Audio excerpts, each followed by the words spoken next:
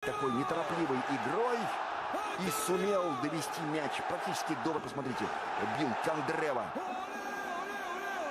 Вот видите, сумасшедший удар, передача, и здесь Вирджил Ван Дейк явно ошибся, не накрыв Кондреву. Хотя вроде бы опытнейший голландец, он до...